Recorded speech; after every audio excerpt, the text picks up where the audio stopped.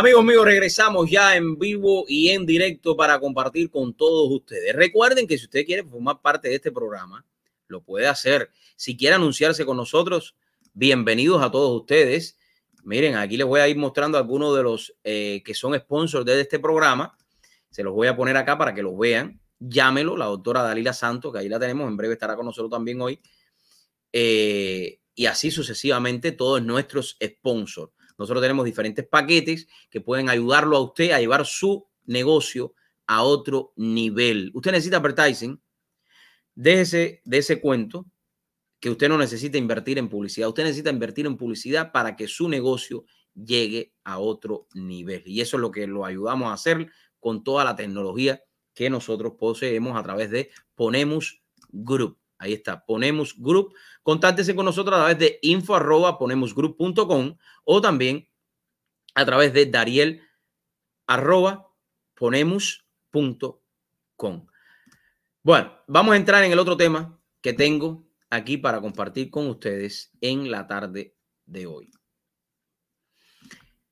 Em, es triste de alguna manera lo que está sucediendo con la tecnología a nivel mundial.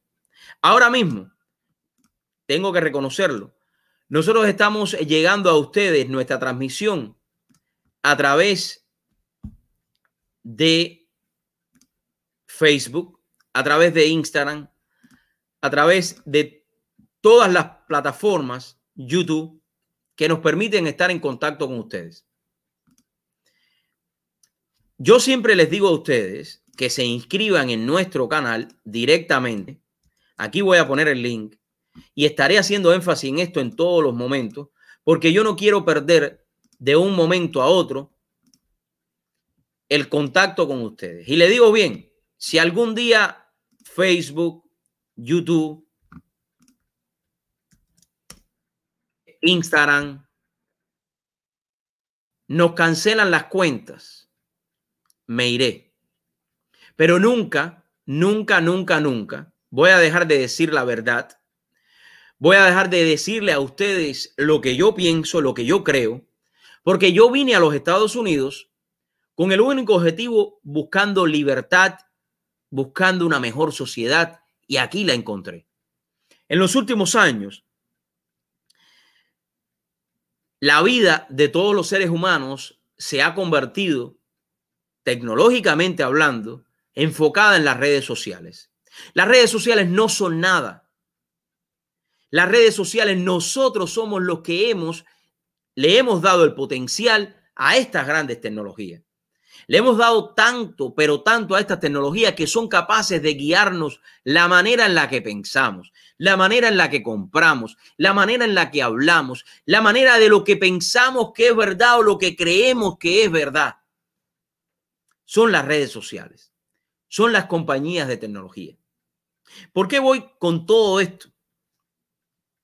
porque hace un día, hace algunas horas, la compañía Facebook nuevamente hizo de la suya.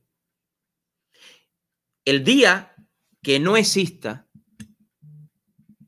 las redes sociales, el día que todos nosotros nos demos cuenta que nuestra información ha sido puesta en riesgo, que nuestra información ha sido utilizada para el beneficio de muchos, entonces cuando el ser humano se va a sentir realizado y va a decir, las redes sociales, las compañías de tecnología han jugado conmigo. Miren esta noticia para que ustedes vean. Miren esta noticia. Miren esto. Miren esto. Facebook se equivocó. Tesorero australiano se opone a su mano dura de bloquear noticias. Facebook, de un momento a otro, usted va a ver la noticia en el día eh, de ayer, canceló páginas del gobierno australiano. No dejaba que, la, que los ciudadanos australianos porque ellos son Facebook. Porque ¿quién es Facebook? Facebook no es nadie sin ti. Métetelo en la cabeza. Métetelo en la cabeza que si Facebook te cancela una cuenta hoy, el que se está perjudicando es él. Porque si él le cancela las cuentas a todos nosotros, no son nadie. Tienen que coger la plataforma, empaquetarla y ya tú sabes. Aunque claro, hasta el punto de hoy ya ellos tienen mucha data acumulada. Ya Facebook sabe dónde tú comes, qué tú haces, qué tú quieres, a dónde vas, quiénes son tus amigos, quiénes son tus enemigos, quiénes son los que te dicen groserías, quiénes son los que te aman, quiénes, todo, todo, todito, todo. Pero ¿quién le ha dado el poder a Facebook? Que quede claro, eres tú. El tesorero australiano Joseph Denver afirmó a Facebook que su decisión de retirar contenidos informativos a los usuarios australianos dañará su reputación en el país. No, lo que hace falta es que bloqueen a Facebook en todos los países del mundo. Yo quisiera que hoy por hoy, ahora mismo, todos los países del mundo bloquearan a Facebook.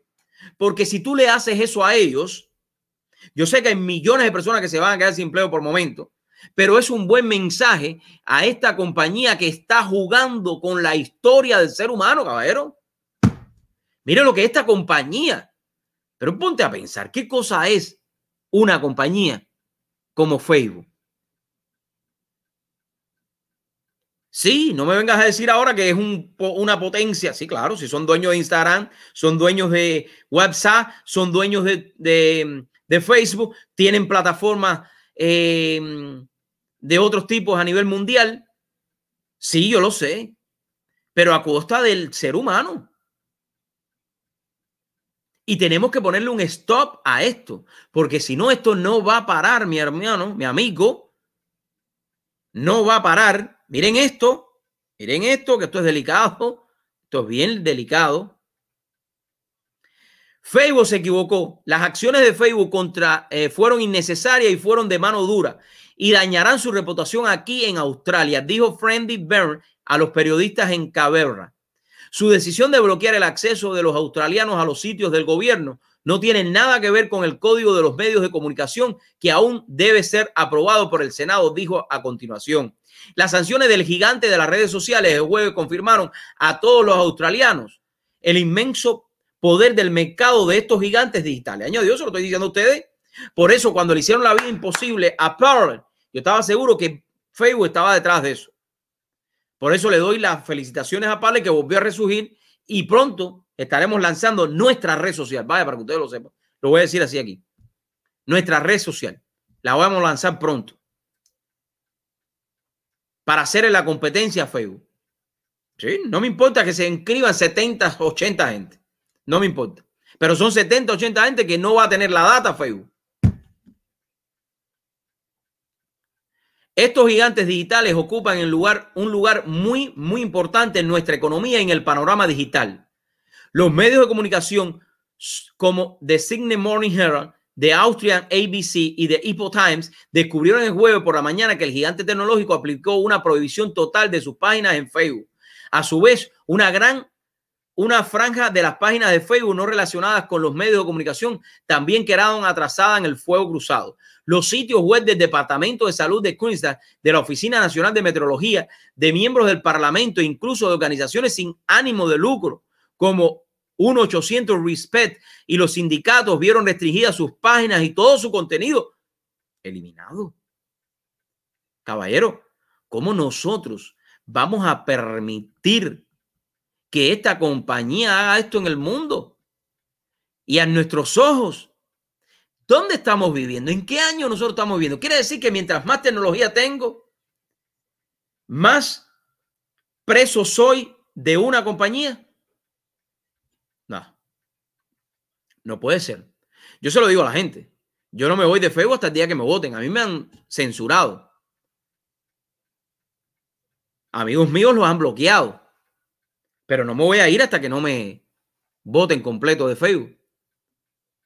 Y mientras más contenido pueda subir para arriba, mejor. Más contenido, para que se le llene bastante los servidores.